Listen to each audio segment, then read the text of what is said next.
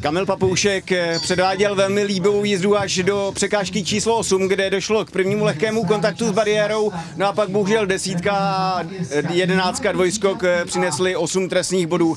Tak jaké dojmy vy si odnášíte z toho vašeho parkouru? Je to trochu zklamání, protože od začátku jsem měl dobrý rytmus, všechno mi pasovalo podle plánu, dvojku, trojku jsem chtěl jít na sedm, to mi vyšlo perfektně.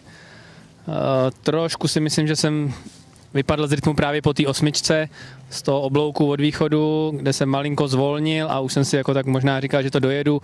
On možná i nabil dojem, že se jde domů u toho východu už a přes tu branku udělal jako menší skok, takže mě pak bylo hrozně daleko na desítku. A ta druhá chyba si myslím, že byla malinko zbytečná, tam zase ten konec už byl dobrý, ale tam nechal trošku zadní nohy. Jak eh, celkově hodnotíte náročnost kurzu, který si pro vás stavitel připravil do poháru národů? Obtížný určitě je právě tady tím, ten konec, tím, že ty koně trošku nabidou dojem, že už jde domů a od toho východu vlastně přichází ještě ta závěrečná těžká fáze, která to vlastně prověří, ale jinak eh, ty vzdálenosti jsou výborný, mě to vyhovalo, on má hodně cvalu, takže všude jsem mohl dobře cválat.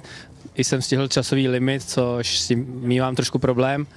Takže dneska jakoby z toho kmihu a z toho pohybu po parkouru jsem měl moc dobrý pocit.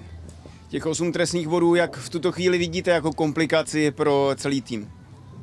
No já doufám, že ještě máme dvě želízka v ohni a že, že to určitě za mě zachrání a já budu mít šanci jim to oplatit ve druhém kole. Budeme doufat. Děkuji.